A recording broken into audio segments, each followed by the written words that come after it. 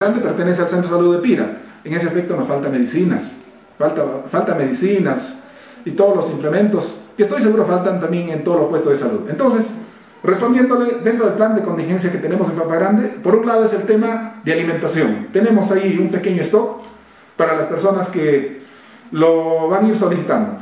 Y para el tema de aislamiento, estamos viendo pues de la siguiente manera. Uno será en el hotel municipal, en este caso a las personas que lleguen, o en todo caso estaremos viendo con carácter de muy urgente un lugar alejado, para que esas personas que llegan y puedan estar pues ahí en lo que es la cuarentena, ¿no?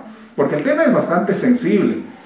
A Dios gracias en Pampas Grande tenemos tres ingresos. Por el lado de Huanchay, que se ha hecho la, el cerco correspondiente con el distrito de Huanchay, tenemos el ingreso por lo que es Pariacoto. También este, la municipalidad tiene personal ahí protegiendo y por lo que es eh, el ingreso de Boraz. También hay pues la, la tranquera en Cajamarquilla, el mismo Pampas Grande. Pero hacemos el llamado a las personas que van a ir a Pampas Grande, tomar las medidas correspondientes. Indudablemente no podemos ser ajenos a la realidad, que, pero sí que se siga el protocolo, por favor. El gobierno nacional ha destinado recursos para el gobierno regional, en ese aspecto que sus funcionarios pues hagan el trabajo que deban hacer INDECI, gobierno regional, y que cumplan el protocolo.